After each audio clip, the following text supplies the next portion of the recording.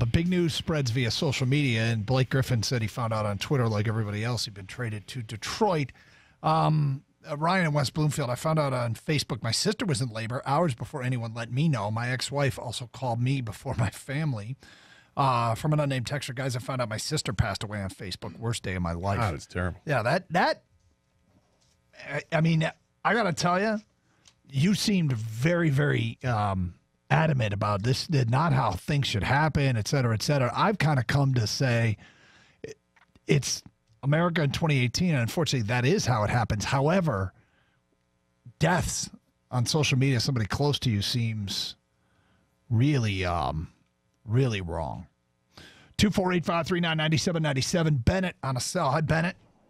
Hi, how you doing, guys? I um, I agree with both of you guys. Um, it's it's the way of the of the world now with this instant information, and it's it's kind of sad that family doesn't get notified first. But I'll give you a, an example of of social media uh, working in reverse, so to speak. Okay. On January 22nd this year, I saw a post that one of the actresses in a film I'm, I'm doing passed away. And I was blown away. I mean, I was freaked out. And then the next post shows her, um, uh, what is uh, the death notice? The, the She obituary. died- She, yes, obituary, very good. She died on December 5th. And nobody made a notation or nobody posted it anywhere on social media until January 22nd, six weeks later. I'm like, what do I do? What do I, you know, how do I notify the rest of the cast and crew? And it was, it was just bizarre.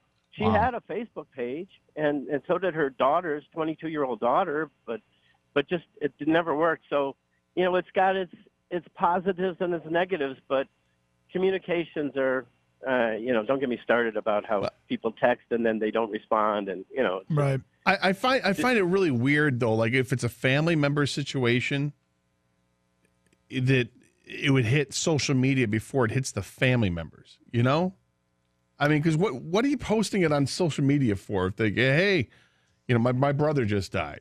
Uh, You know, you, You- would tell would everybody you- in the family, right? I mean, you tell think. people in the family, and why would you? I mean, well, no, he just died. I got, I, I, I, I need to quick post this on Instagram or, or Facebook or Twitter. Yeah, it seems a little awkward there. I, I again, the reason we're talking about this is because Blake Griffin found out on social media he'd been traded, which eh, you know, I think that's just what happens this day and age. I don't know if you follow the Alex Smith trade where he got traded to Washington for a third round pick and Kendall Fuller, the young corner, uh, promising player.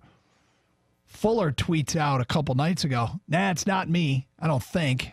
I'm on here trying to find out just like y'all. Next tweet, man, I'm safe. I ain't got traded. Next tweet is the Homer Simpson backing into the bushes gif. Me on Twitter after tweeting all that, then finding out I got traded. so he was tweeting on social media, it's not me, it's not me, it's not me. And then he tweeted, wait, oh no, it's me. Like, how is how does it get to that point? How does your agent not tell you? How does the general manager not tell you? How does someone, at least from the general manager's office, say, "Hey, I'm, you know, so and so with the Because Redskins," just to let you know you got traded? in this day and age with sources and stuff, it just it gets out. It gets out. The team can't call you. They really can't call you until the deal is done because if something happens and then they got to take it back, hey, sorry, we we traded you. And you're like, "Oh man." And then they call back 20 minutes later and go, "Trade fell through. You're still with us." How do you think that guy's going to Well, feel that- about his I, I team? get it. so I understand that, but I mean, again, you make a trade. It, it's consummated. How is it wi- without within five minutes you haven't contacted the person who you just traded? Because people start reporting it before it's a done deal. That's why. get- I mean, how does it get to that point?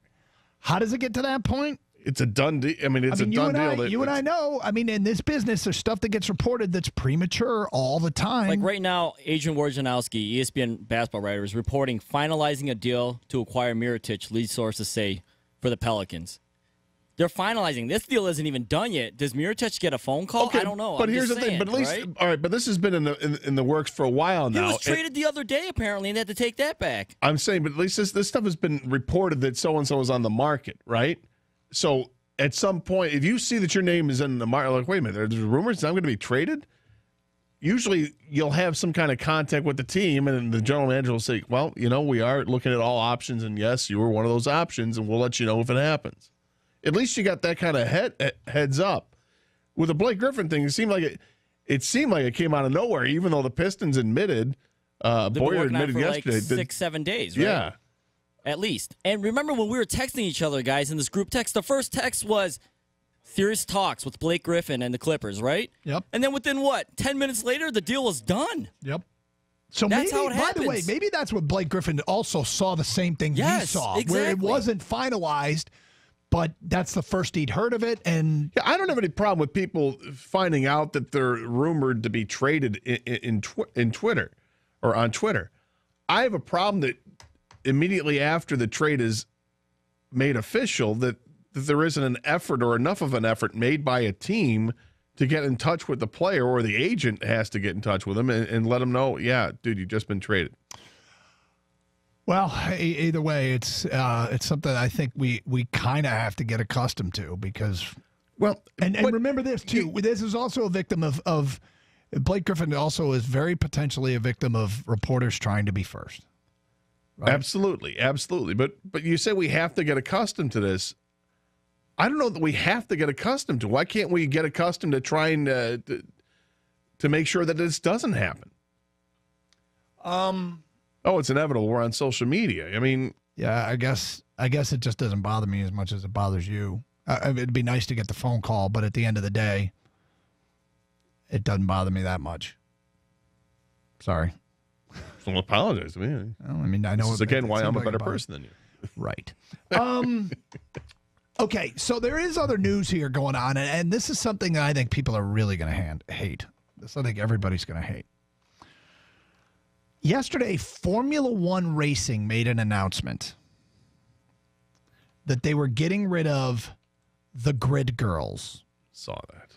Now, what are the grid girls? The grid girls are basically models who dress up as sponsors for like the cars, whatever the car's sponsor is, and stand around the car and you know take pictures with people. And I don't know that they served any actual purpose other than it was they were Formula One's cheerleaders, but they would dress in skimpy outfits with with sponsors logos on them. The managing director of Formula One said the following about canceling this. Over the last year, we've looked at the number of areas which we felt needed updating so as to be more in tune with our vision for this great sport. While the practice of employing grid girls has been a staple of Formula One Grand Prix for decades, we feel this custom does not resonate with our brand values and clearly is at odds with modern day societal norms. We don't believe the practice is appropriate or relevant to Formula One and its fans, old and new, across the world. Now, obviously, this is not, they're not cheerleaders per se. But it's as much of a cheerleader as they can have. as in that much of a cheerleader as they have in that sport. And I do wonder, and I, you and I have wondered about stuff like this moving forward. We're really, really, really sensitive to the objectification of women in this society. And is it going to get to so much so that something like this becomes the norm? I, I've kind of been waiting for this story to hit. I didn't know what league would be the first to do it. Uh, I know there are times where we have taken complaints from listeners over some of the stuff we say and do. And yet we're all, I mean, for us, I just keep thinking it's in good fun, but I am curious where this, what this is going to lead to. Now it's, I mean, it's something to think about because, in one hand, if the women involved don't mind that there's that perception out there that they're being objectified, if they're, if they're cool with it, then why should anybody have an issue with it? If it's if it's if it's them that's being objectified Yep. in other people's eyes, if it's not in their eyes, then who cares? But we're talking about the greater picture, the bigger picture, and and this is something that will probably be brought up. And you know, will cheerleaders soon be outlawed? I, it was funny because uh, you mentioned that. Do the people care? Do the individuals? Grid girls are complaining. Uh, women who had jobs as grid girls don't like it. Well, then what are they doing with getting a job as a grid girl? No, they they're complaining that their jobs are being eliminated. Oh, okay. yeah, I'm they're sorry. saying I they they don't like this policy. And you know, kind of what does it lead to next? you know, and, and the sport is taking a stance that they think that there's too much negative attention Mm-hmm. towards us, or that there will be in the future. So they're trying to nip it in the bud and move on.